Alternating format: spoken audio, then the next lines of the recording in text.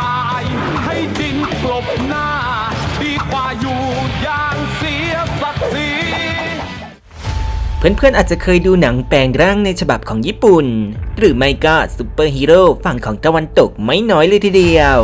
แต่เพื่อนๆรู้หรือเปล่าล่ะว่าสีสันอีกหนึ่งวงการบ้านเราก็มีซีรีส์เราซูเปอร์ฮีโร่เหมือนกันนะว่าแต่มันจะมีฮีโร่ตัวไหนบ้าง แอดคิดว่าเพื่อนๆก็น่าจะเคยดูแล้วแหละ งั้นไปดูกันเลยดีกว่ากับ 10 อันดับซูเปอร์ฮีโร่ไทย ที่อินเดียต้องยอมกราบ จะมีตัวละครตัวไหนกันบ้างก่อนจะไปดูคลิปกันอย่าลืมให้กำลังใจ SPY ด้วยการกดไลค์คลิปนี้ด้วยนะ ไปดูกันเลย อันดับที่ 10 Crystal Knight เรียกได้ว่าเป็น project ออกทุนเองของน้าต่อย โดยน้าต่อยเนี่ยริเริ่มสร้าง project หนังแปลงร่างของตัวเองขึ้นมา อีกทั้งยังเรียนรู้วิชาการต่อสู้จากประเทศญี่ปุ่น ทั้งดาบ กังฟูกระบี่ เพื่อการรับบทเป็นหัวหน้าหน่วย Crystal Knight ที่มีฝีมือสูง แต่ในตอนนั้นเสียงตอบรับค่อนข้างที่จะไม่ค่อยดีเท่าไหร่แต่อย่างน้อยก็ทำให้เราเห็นว่าความตั้งใจจริง ๆ ของน้าต่อยมาสุดจริง ๆ ถ้าได้ทุนเพิ่ม productionดีๆ ก็น่าจะดีพอสมควร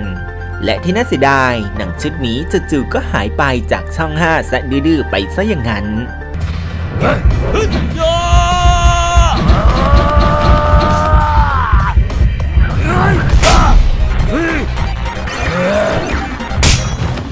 อันดับที่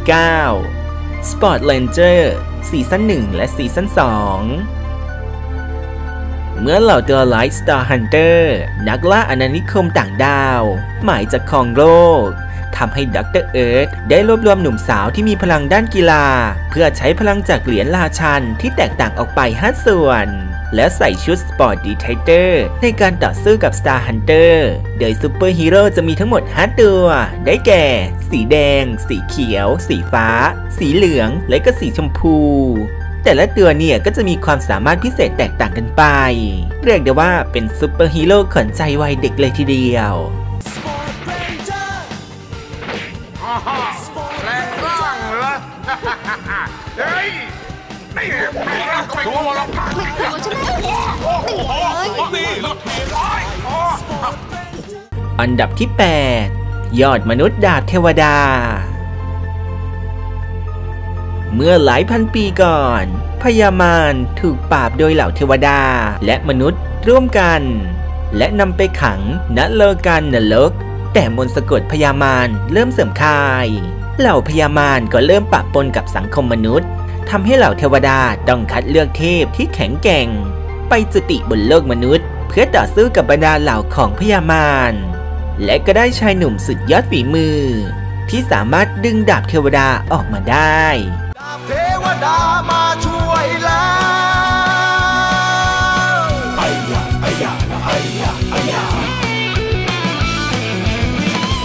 ยอดมนุษย์ดาบเทอันดับที่ 7นรสิงห์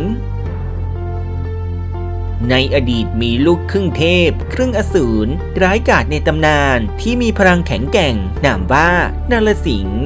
ถูกผนึกเอาไว้พร้อมกับปีศาจหลายร้อยหลายพันปีต่อมา ด้วยกิเลสของมนุษย์ทำให้มนต์สะกดเริ่มเสื่อมคลาย ณ ปัจจุบัน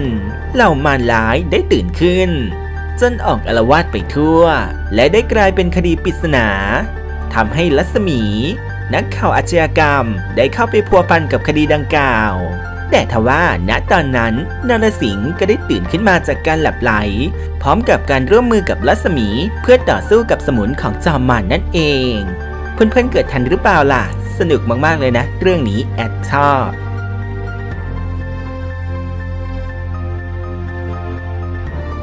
อันดับที่ 6 รูปผู้ชายไม้ตะพด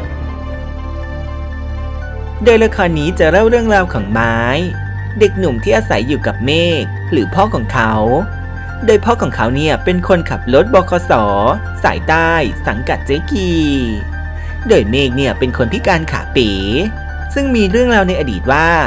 เมฆคือนักเลงรุ่นใหญ่ แต่ตอนนี้กับผันตัวกลายมาเป็นคนขับรถ และเจกีก็มีเรื่องที่ไม่ลึงรอยกับพันเทพ ผู้กว้างขวางและเป็นผู้ปกครองไม้ตะพดเลือด ท่ามกลางความเดือดร้อนของผู้คนในชุมชน ในยามดึกก็ไม่ชายสวมหน้ากากผู้ครอบครองไม้ตะพดวิญญาณ ออกมาช่วยเหลือผู้คน โดยชาวบ้านขนานนามว่าลูกผู้ชาย ซึ่งตัวจริงนั้นก็คือ เมฆชายขาเป๋นั่นเองความชั่วร้ายลูกผู้ชายต้องพัดโลกันอันดับที่ 5 สินห้าคนกล้าท้าอาธรรม ละครชุด 159 ตอนจบ ที่เล่าเรื่องราวเกี่ยวกับการสืบสวนสอบสวนของเหล่าเจ้าหน้าที่ปฏิบัติการพิเศษหน่วยซิล ที่รวบรวมคนเก่งและกล้าที่สุด 5 คน จากหน่วยนาวิกโยธินของไทย ไปประจำการราชการลับ เพื่อสาสังคดีพิเศษที่ไม่สามารถคลี่คลายด้วยตัวเอง และการจัดการหน่วยของอุตสาที่มีโค้ดเนมว่ายูซ่า ผู้กองสาวและหน่วยซิลอีก 5 คน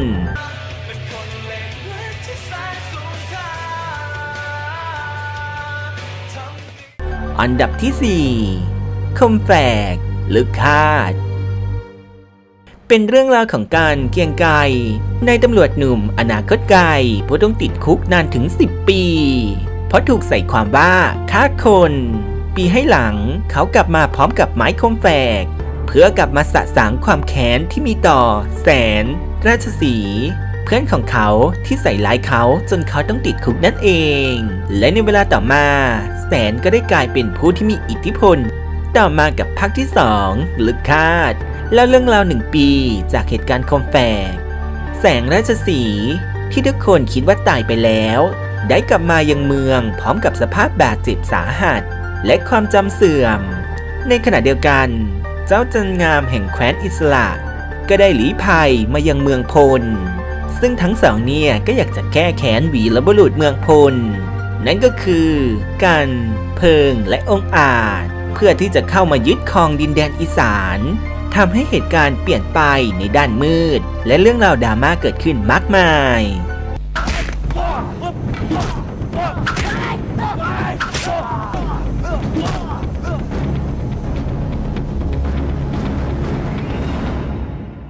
อันดับที่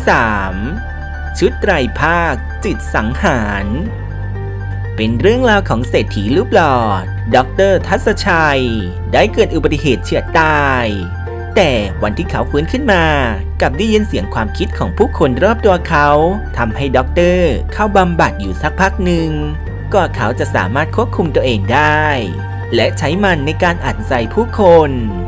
และด็อกเตอร์ก็ได้ไปเกี่ยวข้องกับการจับกลุ่มองค์กรมาเฟียข้ามชาติด้วยแหละ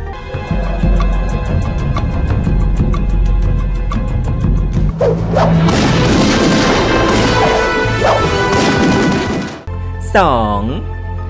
อินทรีแดงในเวอร์ชั่นของเจมส์เรืองศักดิ์ฟ้าลั่นเด็กหนุ่มจิตใจดีที่มีความสามารถในเทควันโด เป็นลูกของเจ้าของหนังสือพิมพ์ข่าวไทยตกลงทำงานให้นักข่าวทีมพิเศษ ที่หนังสือพิมพ์ของพ่อของเขาในระหว่างรอเปิดเทอม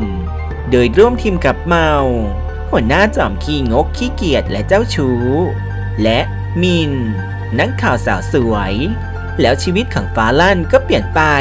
เมื่อเขาได้อ่านหนังสือเรื่องอินซีแดง วีรบุรุษใต้หน้ากากแดงทำให้เขาตัดสินใจสละความเป็นส่วนตัว เพื่อช่วยเหลือสังคมที่เดือดร้อน กลายเป็นอินซีแดงนั่นเอง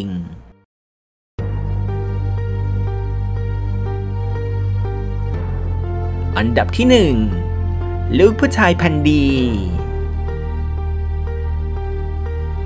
ไทย นายตำรวจดาวรุ่งอนาคตไกล ต้องกลับไปพบกับเทิด อดีตนายตำรวจของหมู่บ้านที่กำลังเดินไล่ล่าอย่างหนักจากผู้ที่มีอิทธิพล แต่ก่อนตายพ่อของไทย ได้มอบตะกุดก่อนที่ไทยจะถูกยิงจนเสียชีวิต แต่ต่อมา ไทยเกิดรอดตายอย่างปาฏิหาริย์หลวงพ่อทองสุข เจ้าอาวาสแห่งวัดประจำหมู่บ้าน ซึ่งเป็นผู้มอบตะกรุดศักดิ์สิทธิ์นี้ให้แก่เทิด ได้มาเยี่ยมไทย ท่านรู้แล้วว่าตะกรุดศักดิ์สิทธิ์นี้ได้เจอกับเจ้าของตัวจริง นั่นก็คือไทยนั่นเอง และไทยเองก็ได้รับความรู้สึกพลังมหาศาลที่เพิ่มขึ้นอย่างมากมาย จนกลายมาเป็นลูกผู้ชายพันดีนี่เอง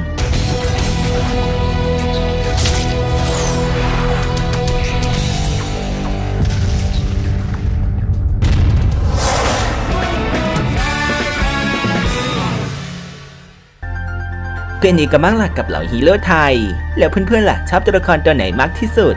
สำหรับแอดนะ ตอนเด็กๆ แอดชอบมากเลยไม้ตายคอมแฟกเนี่ยก่อนจะจากกันไปอย่าลืม comment กดไลค์กดแชร์เป็นเพื่อนๆได้ดูด้วยนะ เพื่อนๆของเพื่อนๆและเพื่อนๆด้วย และอยากให้แอดทำคลิปไหนอีกอย่าลืม comment ใต้ล่างคลิปนี้เลย เจอกันคลิปหน้า สวัสดีครับ